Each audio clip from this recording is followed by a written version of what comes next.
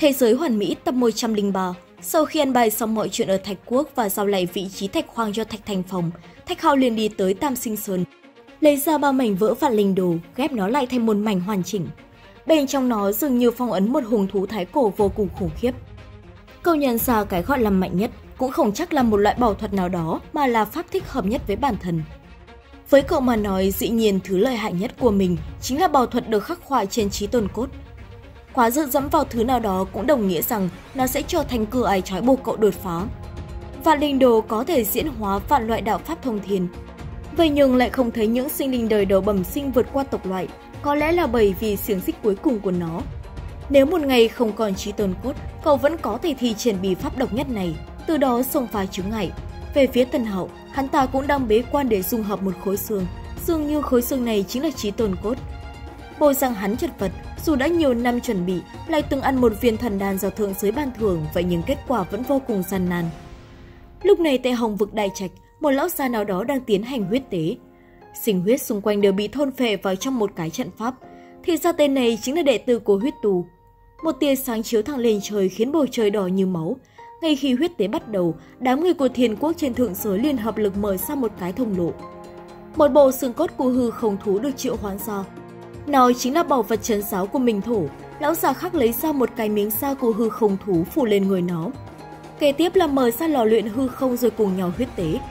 Hư không thú nốt lấy lò luyện vào trong bụng. Sau nhiều quá trình thì hư không thú cũng được gửi xuống hạ giới. Mới đi xuống liền há miệng nôn ra lò luyện hồn. Nắp lò mở ra, nhiều đạo ánh sáng đi ra ngoài rồi biến hình thành người. Mấy cái thân ảnh mới xuất hiện đều là thần thượng giới, hóa ra bọn chúng dùng cách này để sáng lâm hạ giới. Tin tức Thạch Hạo nhường ngồi nhanh chóng được dân chúng truyền tai nhau, còn Thạch Thanh Phong thì viết một bức thư và gửi tới cho Thạch Hạo một ít đồ vật. Nội dung thư thông báo rằng hạ giới xuất hiện trận mưa máu, hư không thú cũng hạ giới tới đây. Cho nên hắn đã sai người trong quốc khố chút bí bảo linh phù trợ cho cậu phòng thần. Thạch Hạo tức giận, không ngờ bọn chúng lại nhẫn tâm dùng ngàn vạn sinh linh để huyết tế mở ra thông đạo đi xuống đây. Nợ máu của những sinh linh đó, cậu sẽ đi tìm bọn chúng để tính sổ. Tần Di Ninh và Thạch từ Làng đi tới tìm Thạch Hạo. Tần Di Ninh cho biết, tuy cô không biết nguyên do, vậy nhưng dù sao cũng xuất thân cổ giáo nên có thể cảm giác được động tác lần này của thượng giới không nhỏ. Vì cảm thấy bất an, hai người mới đến tìm Thạch Hậu.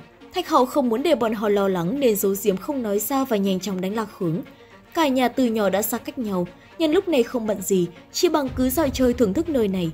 Tần Di Ninh thì bộ dạng căng thẳng muốn nhắc lại chuyện bàn nãy, vậy nhưng Thạch Tử Lăng lại ngăn cản. Đột nhiên một đám nhóc đang rước đèn trung thu thì vô tình làm đổ chiếc xe khiến đèn lồng bị cháy. Thạch Hào tiến lại dỗ dành bọn nhỏ rồi dẫn chúng đi mua bánh trung thu. Đúng lúc này cậu nhận được tin tức, thông báo có sinh linh thần hòa đánh vào Hoàng Thành, bọn họ cầu cứu Thạch Hạo cứu viện. Tuy rất gấp rút, vậy nhưng mà cậu vẫn chưa rời đi mà ở lại bầu bạn cùng mẫu thân và phụ thần, bộc bạch nỗi lòng của mình. Năm đó hai người mang theo cậu đánh ra võ vương phủ, về sau lại trải qua muôn vàn khó khăn, vạn xăm cầu ý, cuối cùng lại bị nhốt lại bất lão sơn cũng chỉ vì xin thuốc. Cậu có chút tiếc nuối vì không thể ở bên mọi người, vậy nhưng mà trên thân còn mang trọng trách phải rời đi, không thể cùng bần hậu quay về bất lão sơn được rồi. Rất nhanh cũng quay về đến Hoàng Thành, mọi thứ bên trong thành đều tan tác.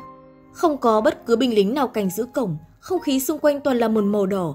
Trên bầu trời có một thứ gì đó đang liên tục hấp thu tình huyết của người dân. Thạch Hạo định tiến vào vậy nhưng bị một tầng kết giới ngăn cản. Nhục thân không thể đi qua, chỉ có sinh hồn mới có thể tiến vào.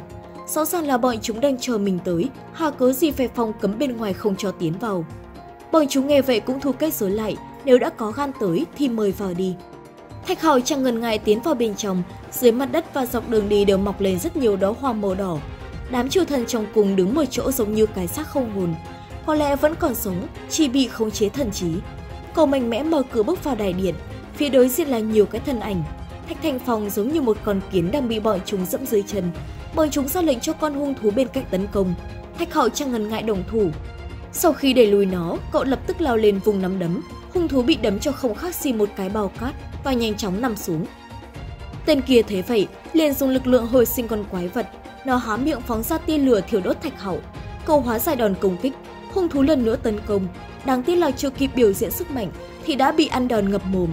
Cậu phóng ra chân hỏa thiêu đốt cho hung thú không còn xương cốt. Đám người bên kia thấy vậy vẫn không hoảng sợ.